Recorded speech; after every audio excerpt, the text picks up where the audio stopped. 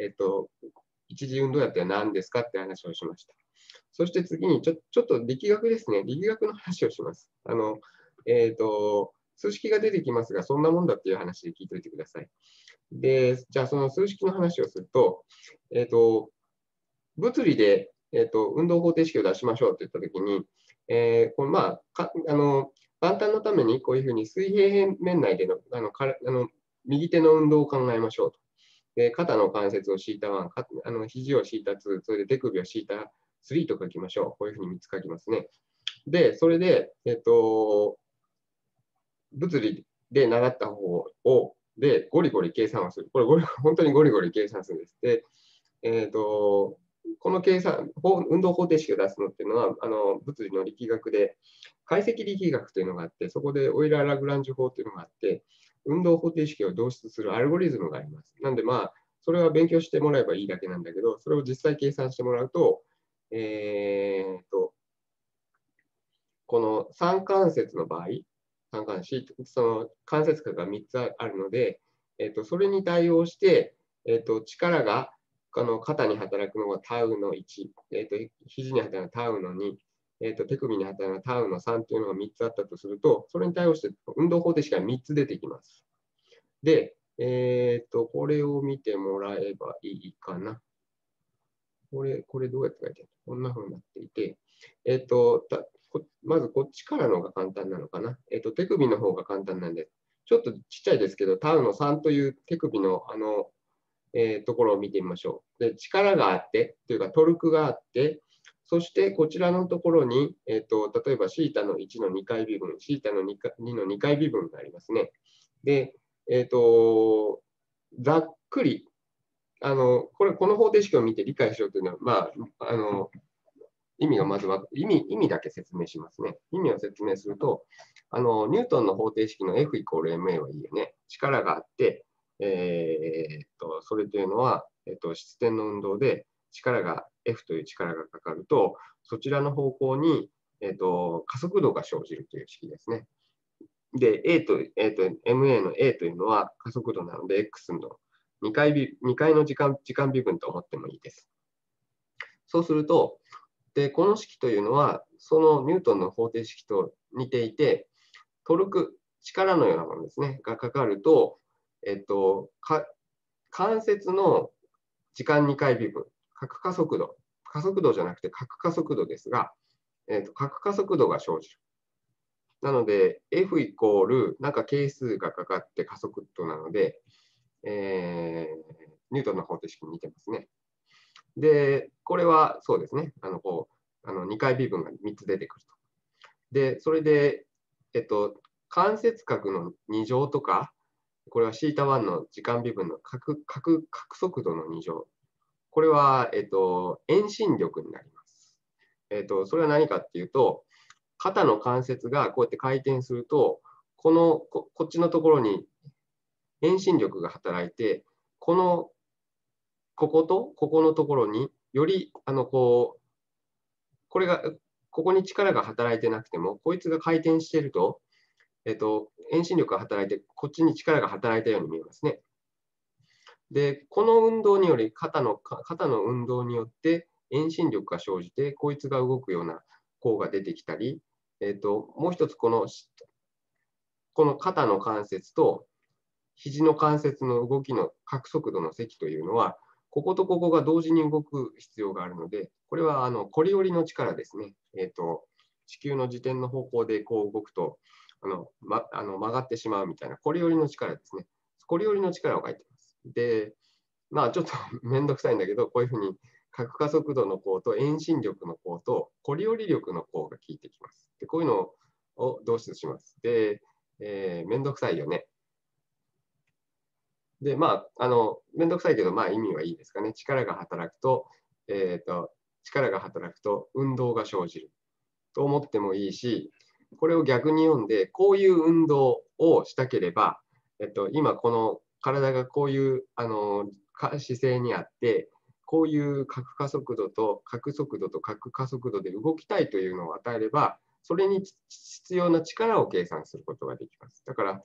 力を与えてどういう運動が生じるかというふうな式と思ってもいいし、こういう運動がしたいというのを与えれば、どんなどその運動のためにはどんな力が必要かというのを生成する式と思ってもいいです。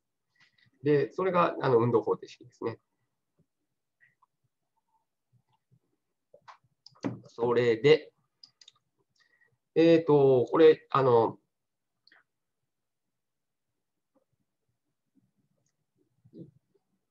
そうそう、これ3関節 の時はこれなんですけど、4関節、これよく書いたなと思うんですけど、あの古谷先生というあの立派なピアノの研究者の立派な先生がいて、4関節の時の運動方程式を論文で書いてですね、そうするともうなんかこうちっちゃくて読めないぐらいになってますね。こういうのこういうのあの導出してるんです。で、えーとまあ、この式、3関節、3関節でも複雑、4関節でもあの難しいで、えー、この式の数っていうのはどんどん複雑になっていくんですね。で、この式を見て何を言ってるかというと、カラスカという、あのえー、ジョン・カラスカというあのフランスの、フランスじゃない、この人、カナダ、カナダの有名なあの電気生理学者がいます。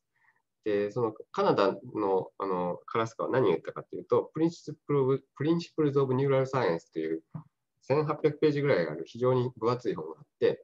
えー、そのスタンダード、一番スタンダードなあの教科書ですね、神経科学の。えーと、その本の中で、えーと、彼、あのカラスカがこの1章、38章ので書いていて、えーと、コーティカルモーターシステム does not solve Newtonian equation 運動方程式を解いていないで、なんかまあ、ここにボックスで言っていて、It is unlikely, however, that the, the motor system controls movement by encoding them in a familiar but arbitrary terms of Newton mechanics or by solving equation derived from the Newtonian laws of motion と書いてある。えっ、ー、と、まあ、運動方程式を解いて、えっ、ー、と、体の制御をしているというのは、unlikely。まあ、なんだ、えっ、ー、と、ありえないと言ってるんですね。じゃあ、なんかこう、何してるんだというと、まあなんかこう、これ、ここの文章もよくわかんないですね。ゼア、ゼアっていうのは、あのこの、えー、と神経活動ですね。They are determined by the stream of signals provided by peripheral, peripheral sensors, by the force generating properties of muscles, by the emergent dynamical mechanical property of the arm, and by the property of the spinal motor circuitry that converts the descending motor commands into muscle activity and movement. まあなんかいろいろ信号を受けて筋活動に変換しているんだって言ってるんだで、エマージェントプロパティとか言ってるんだけども、なんか意味がわかんないですね。じゃあ何をしてるのかというと、よくなんか変換はしてるんだって言ってるんですね。じゃあどうやるんだっていうのは書いてないですね。エマージェントダイナミカルメカニカルプロパティとか、なんかこう、もっともらしい言葉でごまかされてる感じがしますね。えー、で、何言ってるのかよくわからない。で、運動方程式解いていないんじゃないかという人たち、あの電気制のあの人たちはそういうことを言ってたです。まあ、まあ、他の人たちも、あのチャーチランドとかシェノイとかもそういうふうなことを言ってたりするわけです。で、まあ、で僕はまあ、こうじゃないと思っていることを言ってみたいんですね。で、今、運動方程式を、えっ、ー、とですね、えっ、と、関節角として書きました。関節角の θ1 と θ2 と θ3 という2つの、あ、3つの関節角で書いてました。で、えっ、ー、と、それは別に、あの、 座標系を変えると運動方程式が簡単になる。まあ、物理とか、えー、その、例えば x、y って書く。あの問題を解くときに x、y のカーテシアン座標で、デカルト座標で問題を解くのか、それとも極座標、あの R と θ というの極座標で問題を解くのかで、えーと、ある問題は解きやすくなったり、ある問題は解きにくくなったりします。でそうすると、えー、それと同様に関節角ではなくて、ちょっと、あのこういうベクトルを導入してみましょうと。こういうベクトルを導入してみると、えー、いいんですね。この、えっと、その三関節があった中の、えっと、これ記号の説明なんですね。で、赤いところはこの、この1番目のリンクの重心、で、2番目のリンクの重心、3番目のリンクの重心、まあ真ん中だと思ってください。で、えっと、この x の10とか x の20とか x の30というベクトルは、えっ、ー、と、1番0というのが肩という意味で、肩から測った、えー、と1番目のリンクの重心。で、20というのは肩から測った2番目のリンクの重心のベクトル。えー、と X30 というのは肩から測った3番目の、えー、とリンクの、えー、と重心。で、えっと、まあ、こういうベクトルですね。で、21というのは、これ2番目の重心の位置なんだけども、えっと、どこから測ってるかっていうと、肘、1番目のリンクの終点から測ってるもの。で、これ21と言って、31も同じようにここから測ってる。まあ、この、こういうふうな、こういうようなベクトルを導入しましょうと。でこういうふうなベクトルを導入していくと、運動方程式が、えーと、簡単になるというのがこれなんですね。えっ、ー、と、運動方程式と、えっ、ー、と、そうですね。えっ、と、これ、今この方程式というのは、えっ、と、シータを使って書くとこういう式になって、なります。シータを使うとこういう式になります。えー、で、それをシータを使って、この、この、この、えっ、と、シータを使って書くと、関節角で書くとこういう運動方程式になります。それが、こういうふうに空間のこういうベクトルで使うと、同じ式がこの式にまとまります。っていうのがこの式ですね。えっ、ー、と、なんか見通しがいいでしょ。それで、x というのが、えっ、ー、と、今説明した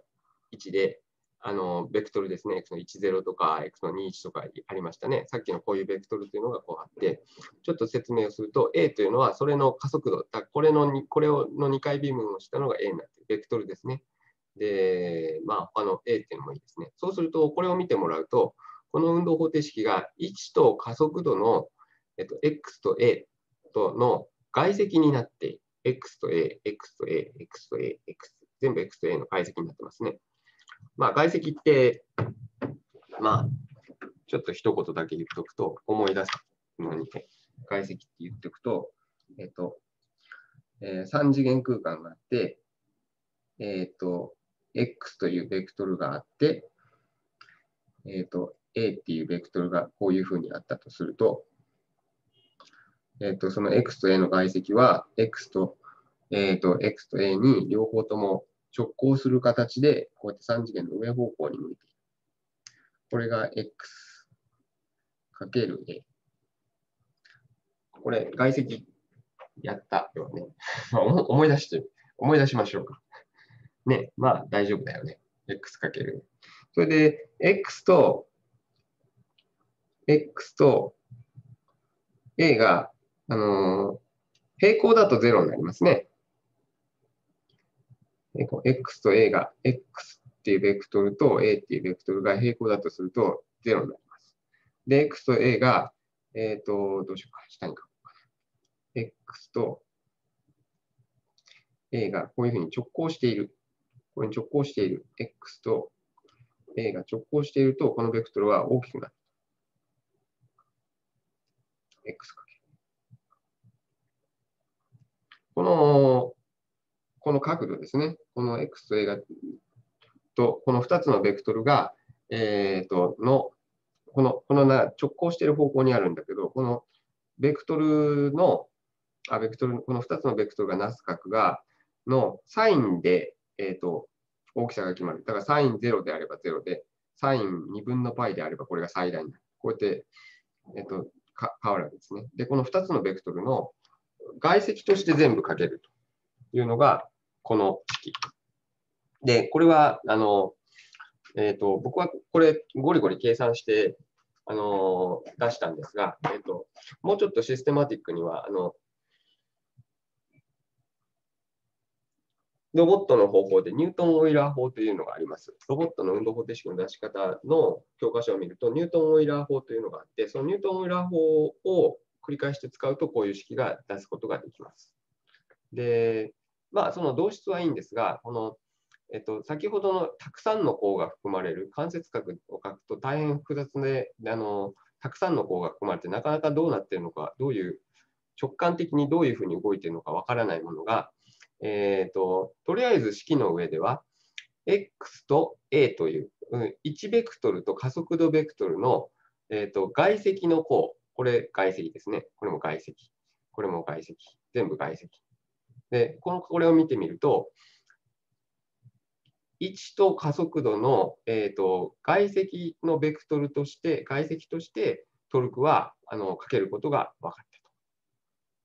ここまでいいでしょうか？大丈夫です。大丈夫ですか？まあ、あの、実際に手を動かしてみないと分かんないと思うんだけど、まあ、そこのところは信じてもらって、その2つの式があって、同じあの表現を変えると、えっ、と、間接角で書くと複雑で長い式が、えっ、と、こういうベクトルを導入すると、えーなんかこう、もうちょっと規則性が見えてくるようになるでしょっていう話です。で、これここまでは、まあ、力学というか物理というか、ロボット学というか、そこまでなんですけどね。ロボット工学というか、そこまでいいですね。で、比較すると、えー、とさっきの1枚にまとめたのがこれで、間接角で書くとこういう複雑な式だった。それで、これが空間のベクトルで書くとこういうふうに、えー書けるというので、えっ、と、あんま、まあ、ここまで、えっ、と、ここまで分かればいいかな。で、あとはですね、まあ、だんだん細かい話になっていくんですが、えっ、と、神経科学に行く前にどんどん話が細かくなっていくんだけども、えっ、と、ここを見せたらいいかな。えっ、と、えっ、と、このさっきの式、外積の話というのは、え直感的な意味があって、えっ、と、例えばここ、肘にトルクを加えたとすると、えっ、と、肘にトルクを加えたとすると、手が、あの、この、この、この、これからこういうふうに変わります。こういうふうにあの手が回ります。くるって、あの、肘が動くと、こういう、こう、にトルクがかかると、こう回りますね。というのは、どういう意味かというと、えっ、と、この重心の位置を動かすというのと、重心の位置の周りで回転させるという2つの項を組み合わせると、このこっちに動かして、この周りでぐるっと回すと、この運動になりますね。で、えっと、ニュートンの運動方程式よりもこういうふうにリンク系が難しいというのは、平心運動と回転運動が入ってるからなんですね。で、これを見てもらうと、質量という項と、えっと、あんまり説明しなかったですけど、慣性モーメントっていう回転のしにくさですね。で、質量というのは動かしにくさ。重いと加速度がなかなか生じないでしょ。で、それと同じように回転も、慣性モーメントっていうのがあって、慣性モーメントっていうのはその物体の回りにくさですね。これが小さいと回りやすいし、これが大きいと回りにくいですね。で、トルクというのは、えっと、この質量に比例する項と、えっと、慣性モーメントに比例する項があって、えっと、質量に比例する項というのは、えっと、質量っていうのはこう、平行移動のしにくさですね。ですから、平行移動にしにくいとところと、えっと、回転に関係する、回転、回転をさせる項と2つ分かれてるんですね。で、こういうふうなあの直感的な説明ができる。えーえーとこの、えーと、この間接角で書いたのと、えーと、こういうふうに空間表現っていう僕読んでますけど、空間表現で書いたのと、えーと、いいところと悪いところをちょっと言ってみますと、えーと、直感的な理解がこっちはできるんですね。こっちの方程式だとちょっとなんかこう何言ってるか分かる。まあ、その人が直感的に理解できるから脳がそれを使っているとは限らないんだけども、えー、とこういうふうに物理的に直感的なのができて、でそうすると、これは回転あ、平心と回転という項でできていて、でそうすると、こういうふうに、あの、2つの関節を持つ、2つの関節っていうか、2つのツーリンクモデルですね。ツーリンクモデルで運動方程式が書けたとすると、えっ、と、今度はそのリンクをもう1つ、2つのリンクにもう1個、あの 3, 3番目のリンクを付け加えると、今度は、えっ、と、この、この運動が加わるわけですね。で、肩に力を加えると、この1番目のリンクと2番目のリンクだけじゃなくて、この3番目のリンクも平心と回転をしますね。ですから、えっと、この肩のリンク、肩の力、この方程式から、えっと、肩の、えっと、この1つ目、3番目のリンクを付け加えると、3番目のリンクを動かすための平心の項と3番目のリンクを回転させる項の M の3と I の3というのに比例する項が加わります。で、まあ、こう、これを加えると、で、えっと、こういうふうに、あのこれはだから2、この場合は2リンクの場合には、ここを動かすと、1番目のリンクを動かす項と2番目のリンクを動かす項だったのだけだったのが、3番目のリンクを1つポンって足すと、えーこういうふうに2つの、あのこのこの項を加えることになります。で、これを繰り返していくと、あのこれいいですね。直感的ですよね。なんか一つ加あの新しく使付け加わったところを動かすための項が加わると。そうそれでもう一個あの、例えばもう一つリンクがつながったとすると、またここに対してリンクをつけていればいいので、実はその運動方程式というのは、えーと、それを繰り返していくと、えーと、これ、えーと、今の式というのは1行で書けるんですね。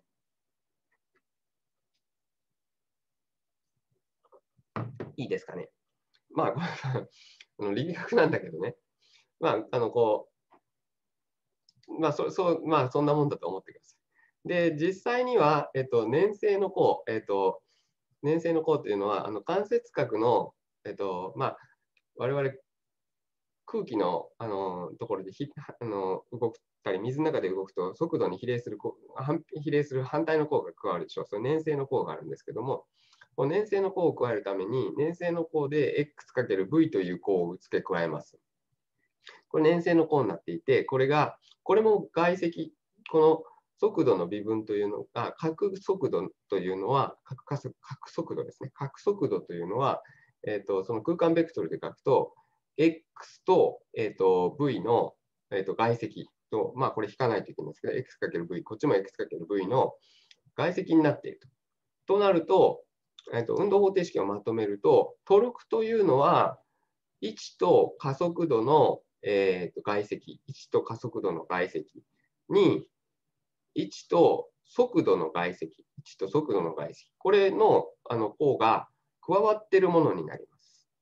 で、実は、えっ、ー、と、これが一次運動野がやってる計算じゃないかなと思っているているっていう論文が、あの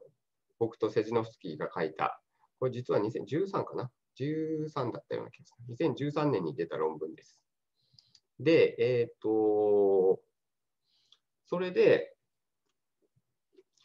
先ほどは関節角を計算するという話をしました。関節角を計算するという話をすると、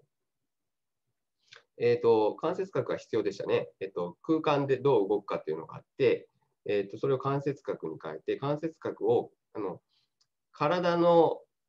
関節角という体の座標系に落として、そしてトルクを計算して、緊張力を計算するということをしていました。で、それが、えーと、それそれはさっきの先ほどの運動方程式のこちらの話ですね。関節角を陽に必要とする式ですね。で、一方、もし、えっと、運動野がこういう計算をしているとすると、えー、どういう計算になるかというと、えっと、空間でどう動くかというのを決めたときに、関節角の代わりに外積を計算する、x と v、x と a の外積を計算する。そうすると、それの線形和を取ると、トルクが計算できるわけですね。なので、関節角の代わりに、えっと、こういうふうなベクトル外積を計算している。ここの空間ので動くのが分かれば、こういうふうな、えっと、x と a の外積を計算することで、えー、外積ありますね。その外積を計算すれば、あとはこの外積に m とか i とか b とかそういう係数をかけて足し算をするっていうだけですね。そうすると必要なトルクが計算できるってやつですね。そうすると、この方程式に基づくと、えー、脳の中でのこのダイナミクスの計算というのは違うものかもしれないというところです。で、ここまでが、えっと、まあ、物理で、えー、物理というか、力学なんで、なんですが、表現を変えてみると、この図式じゃなくて、もしかしたらこういう図式なのかもしれないというふうに思ってるんですね。で、この図式で考えてみてみると、えっ、と、一次運動野のえー、神経活動の理解ができるんじゃないかというのは次の部分なんですが、まあ、ちょっと1時間ぐらい話したので、えー、と一休みしたいと思うんですが、10分、15分ぐらい休みたいと思うんですが、どうでしょうか？質問。はい、大丈夫です。えっ、ー、と、言ってることは分かりました？はい、結構。はい、大丈夫です。大丈夫、結構大丈夫。はいえっと、数式はやっぱり、あの、ああいうの見せられるとびっくりすると思うんですが、あの、意味だけ分かってくれればいいです。表現が変わったら数式が変わって、じゃあ計算の図式も違うでしょっていうことを言ってるんですね。それそこまで分かってくれればいいです。それは大丈夫？はい。はいはい、大丈夫です。はい、じゃあどうもありがとうございました。じゃあちょっとちょうちょうどなので一休みしましょうかね。えーちょっと待ってね。